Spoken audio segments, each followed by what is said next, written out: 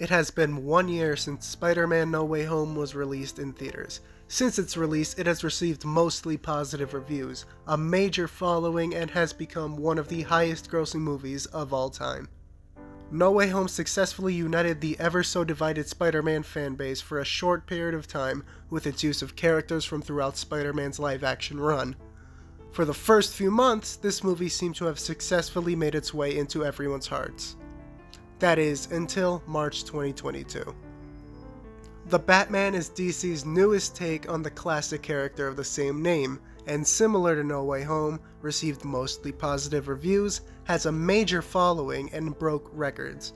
But when this movie's success began, No Way Home's began to be in question. Batman's more grounded and serious approach to the character was the polar opposite of No Way Home's fantastical and more absurd moments. This brought the common criticism among fans that No Way Home is dumb and relies purely on fan service, like many of Marvel's other Phase 4 projects.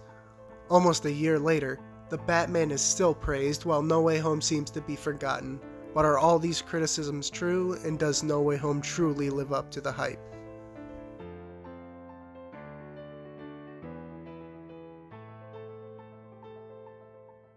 Spider-Man No Way Home picks up immediately where its predecessor Far From Home ended.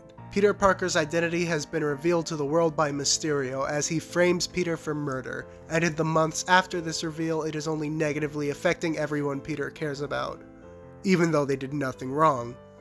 After MJ and Ned are rejected from MIT for being associated with him, Peter gets the wild idea to visit Doctor Strange to try and undo the damage Mysterio has caused. With disapproval from Wong, Strange decides to cast a spell to make everyone in the world forget Peter Parker is Spider-Man. Peter tries to alter the spell mid-casting and it becomes corrupted, allowing everyone in the multiverse who knows Peter is Spider-Man access to the main timeline. Yeah, yeah, I know. That is until Strange contains the spell and he then scolds Peter for not even attempting to reason with MIT before asking him to do the spell, to which Peter decides to finally try and reason with MIT. Before he gets the chance to, it's revealed that some people were able to slip into the main timeline. Peter proceeds to save the MIT mixer from Doc Ock, and in doing so gets Ned, MJ, and himself into MIT. But before he could celebrate, Strange breaks the news to him that there are multiple characters who slipped through, including the Lizard, Electro, Sandman, and the Green Goblin. Before sending the villains back, Peter finds out that most of the villains die fighting Spider-Man and feels responsible to give them a second chance. Strange, on the other hand, thinks that their deaths shouldn't be prioritized over the main universe's stability. Strange then proceeds to lose a fight with Peter and is locked in the mirror dimension for the rest of the film. After talking to the villains for a bit, they all agree to raid Happy's apartment so Peter can cure them and send them home. After successfully curing Doc Ock and starting on Electro's cure, the Goblin crashes his little party, turning all the villains against him, killing Aunt May in the process, before leaving Peter to deal with the police. After May dies, Peter retreats to the roof of his school, which MJ claims is his place to get away from things. MJ and Ned meet up with him and reveal the other two Peters from the villains' universes. After taking a moment to talk about May's death, they all work together to cure the villains because Peter believes that's what May would have wanted. This plan culminates in the Peters luring the villains to the Statue of Liberty and curing them one by one. About midway through the battle, Strange escapes from the mirror dimension and takes the box back to send them home. Peter tries to bargain with Strange one last time but is interrupted by the Goblin's attempt to steal the box. He fails to steal it but successfully destroys it, setting the spell loose after Strange fails to contain it once more. More villains show up in the sky and the multiverse begins to tear itself apart. Peter confronts the Goblin and attempts to kill him with his glider, but is stopped by Raimi's Peter. After Goblin stabs Raimi's Peter, MCU Peter injects him with his cure, killing the Goblin and saving Norman. Peter then confronts Strange about what happened and decides to set a new spell to undo the old one, which would make everyone forget who Peter Parker is. After giving his goodbyes to Strange, the other Peters, and his best friend and girlfriend, Strange casts the spell sending everyone back and making everyone forget who Peter Parker is. A few weeks later, Peter visits MJ at her job and attempts to reconnect with her, but goes back on it. At the end of the movie, we see Peter visit May's grave and talk to Happy, who also forgot who he is. After this, we see him move into his new apartment and then get a look at his new suit as he goes to fight crime in Manhattan.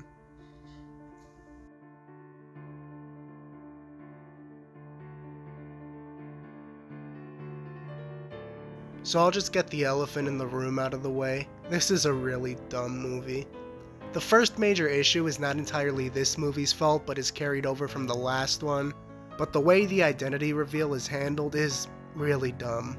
There is so much evidence that Mysterio is faking the whole thing, like video evidence from witnesses, but the movie just kinda goes with it for some reason. The rules of the spell aren't entirely explained either. There are three groups of characters that all create their own problems. Starting off with the simple ones, the different Peters. Maybe I'm really stupid, but I don't see how the spell that pulls people that know Peter is Spider-Man would pull not one, but two of Peter himself. Is it because he knows he's Spider-Man? Again, maybe I'm stupid, but the movie never cares to explain how the Peters are affected by the spell. The next group is Eddie, Venom, and Electro, who both don't know who Peter is and don't tell me about the hive mind because that's bullshit. Electro, you could say his universe is slightly different and maybe he knew in that universe, but Venom makes no sense no matter how you put it. First of all, Eddie doesn't know who the hell Peter is even after the hive mind thing, so why would he be pulled with Venom since they are both two different people? Also, why is this specific Venom pulled when there are characters left over from the Raimi and Webb films that would probably get priority since those are the main universes being affected? Like both Harry Osborns and Topher Grace, Venom being in this movie makes no sense, but since that's just a post-credit scene problem, I'll move on. The final group consists of the remaining villains, Goblin, Lizard, Doc Ock, and Sandman, this group creates the question of when were they pulled from? This one is actually really simple, but a small thing sets it all off. Judging off what we see from Ock and Venom, we can assume all the characters are pulled from when they find out Peter is Spider-Man. Ock is pulled from the final battle, Venom is pulled from his post-credit scene where he finds out about Spider-Man. With this knowledge, you could assume Lizard is pulled after the sewer fight, and his universe just has a slight difference like the others with character designs and Norman was pulled after the dinner scene, which creates another problem of him having his goblin suit when he's pulled, but that's something easy to look over. The problem here is Sandman, which is a major problem throughout the entire film, but I'll get into that in a second. Sandman would realistically be pulled from the subway fight if this logic applied to everyone, but he is pulled after the battle with Venom, which kind of throws this whole thing apart because then Lizard should just be normal Connors, Ock should already have control over the arms, and Norman should look like he got his ass kicked a few minutes ago. Yeah, you get my point.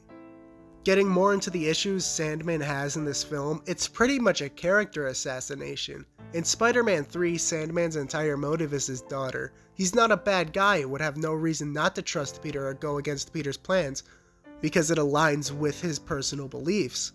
But the film feels the need to make him another one of the villains for no reason. His entire motive in this movie is pretty much that he is impatient.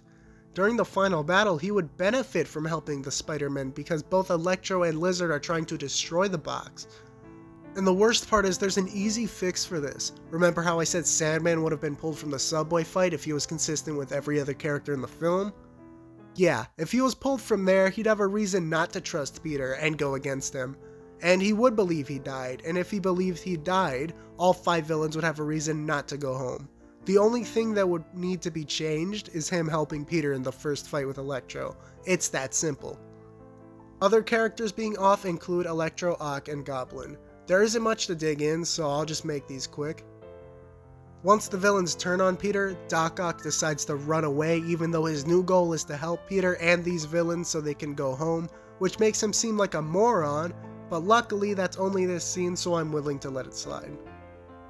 Electro goes from a loser who thinks he's a god to just Jamie Foxx, which I think makes him a really fun character and I can't blame them for changing him, but he barely resembles the original and I still have to bring it up. Goblin carries over the inconsistent motive problem from his original debut, but he's at least somewhat consistent in this film, so once again, could let it slide. To elaborate on this, Goblin's motive in the original film is to get revenge on the people who kicked Norman out of Oscorp. He succeeds at his goal halfway through the movie. and now has a personal vendetta against Spider Man because he tried to stop him? Yeah, yeah, yeah, I know.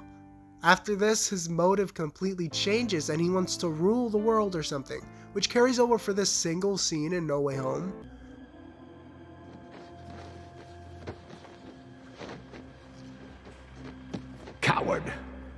We have a new world to conquer.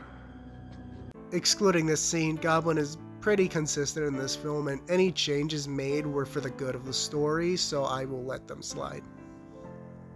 Strange is also inconsistent, but this is due to the last minute rewrites to have him fill America Chavez's role.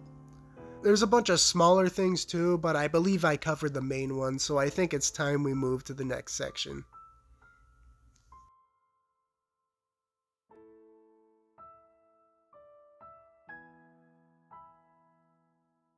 When No Way Home came out, it became one of my favorite comic book movies. I loved everything about it the story, the characters, the emotions it was able to put me through that most films could not. And after pointing all these issues out about this film, I still hold the same opinion on the film as I did when I first saw it. This is not a perfect film by any means, but it is clear that it's made with nothing but love for the character. Through its messy and flawed story is a film that captures the soul of Spider-Man and in doing so becomes a messy love letter to the character and the almost 20 years of Spider Man on the big screen. This is one of the few films that I believe uses its nostalgia and fan service in a clever way. Even if you remove connections to the Raimi and Webb films, No Way Home still operates exactly the same with all its themes and its story. Yes, this movie is dumb. It is very, very dumb. But in a weird way, it works in the movie's favor Yes, it could have been better, but for what it is, I think it deserves much of the praise it has received. So to answer the question, does No Way Home live up to the hype? Yes. Yes, it does.